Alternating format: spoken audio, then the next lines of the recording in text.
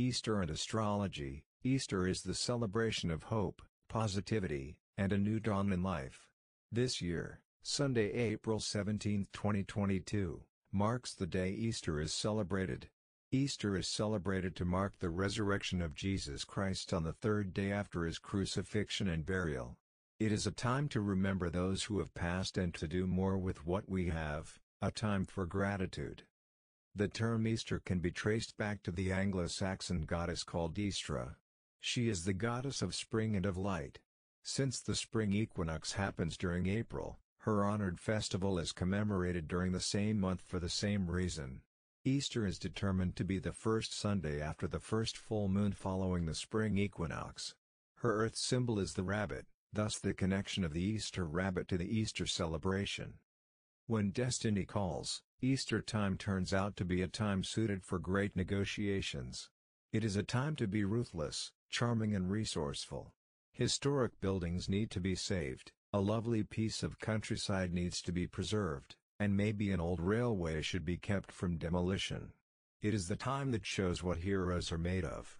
It's time to show remarkable bravery if what you want or what you pursue requires sacrifice or heroism of any kind for a humane cause. Easter is a very special time of the year. It is a time to understand the sorrows and sacrifices of Holy Week, and the Easter Sunday celebration of the resurrection of our Savior. It is a time for self-discovery and awareness. Having awareness helps us have a more positive outlook on life. Becoming aware of the present moment can help us enjoy the world around us more, and understand ourselves better. Awareness doesn't start by trying to change or fix anything. It's about allowing ourselves to see the present moment clearly. When we do that, it can positively change the way we see ourselves and our lives. We can start by being observant of our surroundings. Walk with purpose. Do not zone out when walking. Pay attention to the movement of your body. Take in the scenery. Walking on this planet is a joy. Mindful walking allows us to be aware of the pleasure of walking and experiencing. Mentally aware people accept they do not always have all the answers. Every single thing that happens to us can be viewed negatively or positively. Remember, life is not so much what happens to us, but how we respond. How you choose to perceive an experience often determines that response. Others judge us, too, by how we react to a situation, not the situation itself. Easter eggs go back at least as far as ancient Persia and painted eggs were part of the spring equinox festival also known as Nowruz. Eggs are an obvious choice to use if you want to symbolically celebrate fertility. But the reason for the eggs is Venusian. The egg is a high symbol of the ubiquitous goddess known as Venus Ishtar, Inanna, Istra, and many more. In fact the word for Easter comes from the name Eostre. So we have eggs and other obvious symbols of the goddess religion. An Easter tree is a festive centerpiece for a spring nature table in the weeks leading up to Easter. Easter egg trees are a very popular old European tradition. Originally found in Germany and Austria, they are also found in Czech Republic, Ukraine, Poland, Moravia, and Hungary. The spring tradition of the egg tree is centuries old, as the egg is the ancient symbol of life all over the world. Traditionally eggs are hung on the branches of trees outside and on branches inside the home to celebrate the holiday. Easter egg trees can be inside or outside, elaborate or simple, but most importantly they should be fun and bring the family together in celebration of spring and Easter.